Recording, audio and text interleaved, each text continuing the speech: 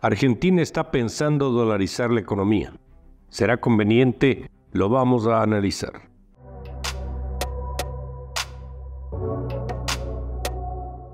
Se ha escuchado mucho sobre la posibilidad que Argentina dolarice la economía.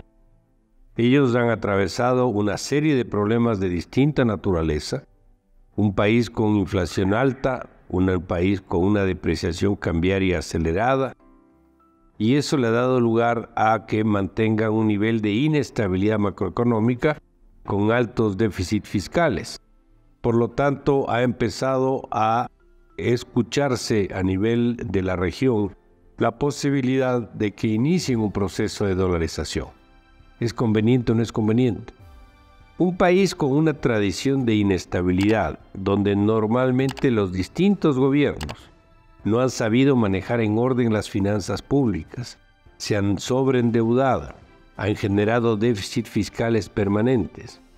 Países donde no ha habido un rol riguroso de la política monetaria, es decir, del manejo de la liquidez, del manejo de las tasas de interés un país donde eh, el fruto de la política ha hecho que los gobiernos no persigan una ruta en el manejo económico y además un país donde el Banco Central no ha actuado de la manera de independencia con la que tiene que actuar, me parece que podría ser sujeto a que tenga una alta posibilidad de que la salida sea por la vía de la dolarización. La dolarización no es la solución de todos los problemas, como tampoco es la causante de todos los problemas. La dolarización en un ambiente donde se pueda mantener cierto orden futuro, donde se puedan instrumentar reformas, por ejemplo en el ámbito laboral, puede ser una alternativa válida.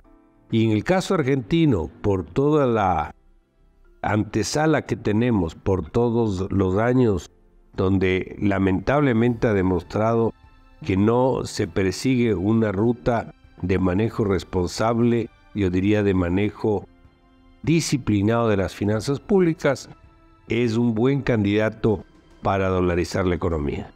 Se han hecho algunos trabajos y ha habido algunas opiniones de economistas muy prestigiosos a nivel internacional. El caso de Milton Friedman, por ejemplo, caso de Steve Hanke, son algunos nombres que han aportado y están en la línea de que un manejo de la economía argentina bajo dolarización podría ser conveniente, es decir, estarían de acuerdo con que ese país se dolarice. Muchas gracias.